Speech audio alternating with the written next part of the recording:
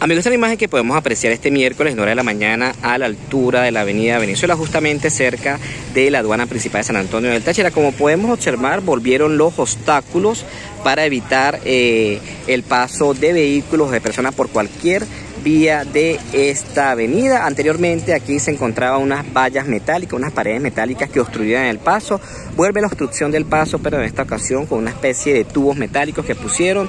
En el otro extremo vemos un cordón y por la acera vemos cómo fueron puestos estos tubos para evitar que los ciudadanos pasen por cualquier vía y solamente usen lo que es eh, la acera para poder ingresar hacia la aduana principal de San Antonio del Táchira. Esta es la información que podemos aportar a esta hora. Vuelven estos obstáculos, de acuerdo luego de haber conversado con algunos funcionarios de la Guardia Nacional, aparentemente es por materias de seguridad y evitar que haya aglomeraciones de ciudadanos. No obstante, eh, para mucha ciudadanía con la que hemos conversado en, los últimos minutos, pues eh, no entienden si lo que se ha hablado en los últimos días es de una apertura comercial y luego peatonal de los pasos fronterizos, no entienden por qué este bloqueo que se está dando en la avenida Venezuela, específicamente cerca de la aduana principal, donde se encontraban anteriormente la pared metálica. Recordemos que esta pared metálica fue retirada un día antes